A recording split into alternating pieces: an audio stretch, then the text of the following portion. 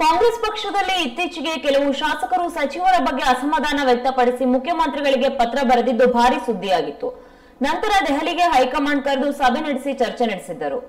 ಮುಖ್ಯಮಂತ್ರಿ, ಉಪಮುಖ್ಯಮಂತ್ರಿ ಅದಕ್ಕೂ ಮುನ್ನ ಶಾಸಕಾಂಗ ಸಭೆ ಕರೆದಿದ್ರು. ಇದೀಗ ಶಾಸಕರ ದೂರು ದುಮ್ಮಾನ ಕೇಳಲು ಮುಖ್ಯಮಂತ್ರಿ ಸಿದ್ದರಾಮಯ್ಯ ಹಾಗೂ ಉಪಮುಖ್ಯಮಂತ್ರಿ ಡಿಕೆ ಶಿವಕುಮಾರ್ ನಾಳೆ ಸೋಮವಾರದಿಂದ ಮೂರು ದಿನಗಳ ಕಾಲ ಜಿಲ್ಲಾವಾರು ಶಾಸಕರ ಸಭೆ ನಡೆಸಲಿದ್ದಾರೆ.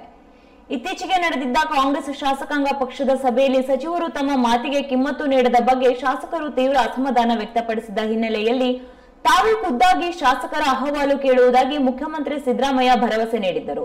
ಅದರಂತೆ ಕಾಂಗ್ರೆಸ್ ಶಾಸಕರ ಅಹವಾಲು ಕೇಳಲು ನಾಳೆಯಿಂದ ಸಭೆ ನಡೆಸಲಿದ್ದಾರೆ.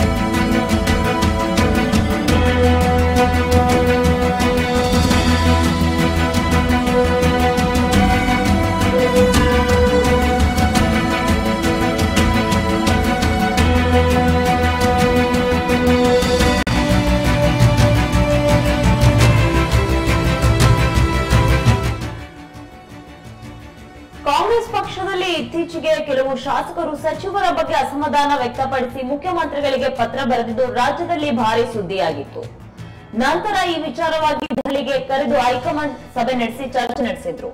ಇನ್ನು ಮುಖ್ಯಮಂತ್ರಿ, ಉಪಮುಖ್ಯಮಂತ್ರಿ ಅದಕ್ಕೂ ಮುನ್ನ ಶಾಸಕಾಂಗ ಸಭೆ ಕರೆದಿದ್ರು. ಇದೀಗ ಶಾಸಕರ ದೂರು ದುಮ್ಮಾನಗಳನ್ನು ಅಸಮಾಧಾನವನ್ನು ಕೇಳಲು ಮುಖ್ಯಮಂತ್ರಿ ಸಿದ್ದರಾಮಯ್ಯ ಹಾಗೂ ಉಪಮುಖ್ಯಮಂತ್ರಿ ಡಿಕೆ ಶಿವಕುಮಾರ್ ನಾಳೆ ಅಂದರೆ ಸೋಮವಾರದಿಂದ ಮೂರು ದಿನಗಳ ಕಾಲ ಜಿಲ್ಲಾವಾರು ಶಾಸಕ ಜಿಲ್ಲಾವಾರು ಶಾಸಕರ ಸಭೆ ನಡೆಸಲಿದ್ದಾರೆ.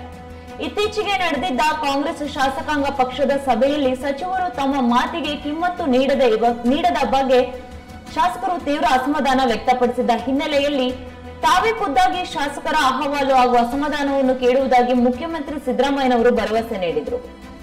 ಆ ಮಾತಿನಂತೆ ಇದೀಗ ಕಾಂಗ್ರೆಸ್ ಶಾಸಕರ ಅಹವಾಲು ಕೇಳಲು ನಾಳೆಯಿಂದ ಸಭೆ ನಡೆಸಲಿದ್ದಾರೆ.